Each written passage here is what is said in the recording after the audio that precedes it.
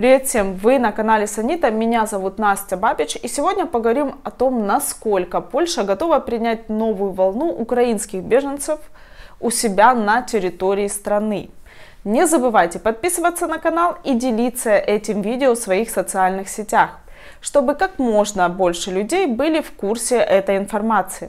Вы подписывайтесь на канал, а я начинаю. Поехали! Итак, главу министерства Марлену Маланг спросили, ожидает ли польское правительство новой волны беженцев из Украины в свете последних событий в стране. Напомню, что на данный момент в течение трех последних дней происходит массовый обстрел по всей территории страны что логично может спровоцировать новую волну беженцев. На что министр Маланг ответила, что мы все время готовы, наши границы открыты и мы также готовы материально принять беженцев. Если возникнет такая необходимость, то, конечно, граждане Украины, как это было в феврале и все это время, найдут поддержку у нас, место и крыши над головой и работу. Именно так подчеркнула министр. По ее словам, прибытие беженцев – это расход, но это следует рассматривать в контексте принимаемых решений. И также, как отметила министр, что та война, которая ведется сейчас в Украине, а это открытая война, это не только война за свободу Украины.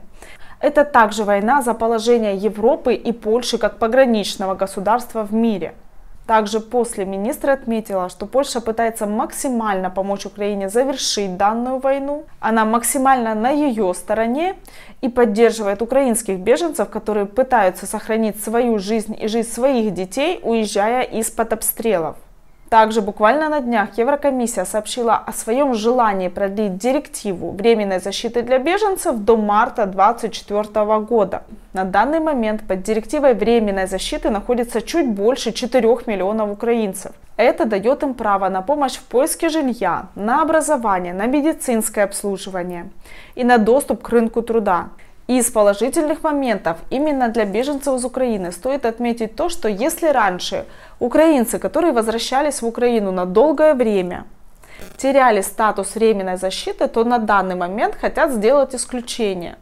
То есть украинские беженцы смогут возвращаться в Украину на неопределенное время, а в случае повышения уровня опасности возвращаться обратно в страны ЕС. Единственное, что вам нужно будет делать, это сообщать о ваших отъездах и о ваших возвращениях.